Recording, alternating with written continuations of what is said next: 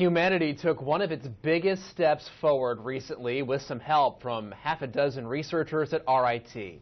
Time Warner Cable News reporter Tara Grimes explains the gravity of this monumental breakthrough. This is an historical moment in science.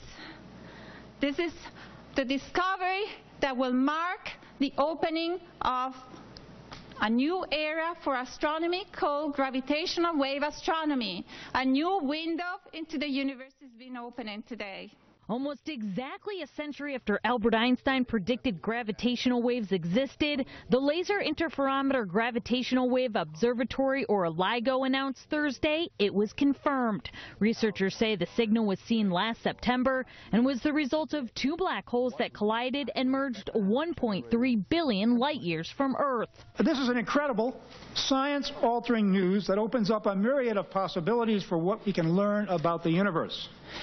But what's also amazing, and what makes me burst with pride today, is that RIT and a group of researchers here have played a very important role in this discovery.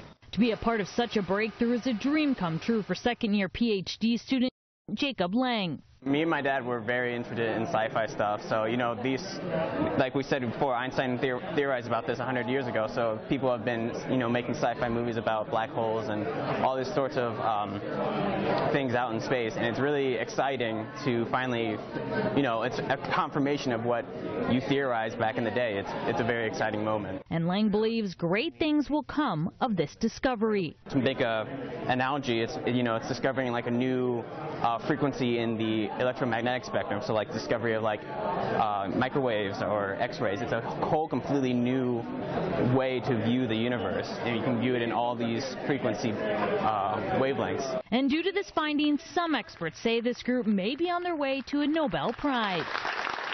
In Henrietta, Tara Grimes, Time Warner Cable News.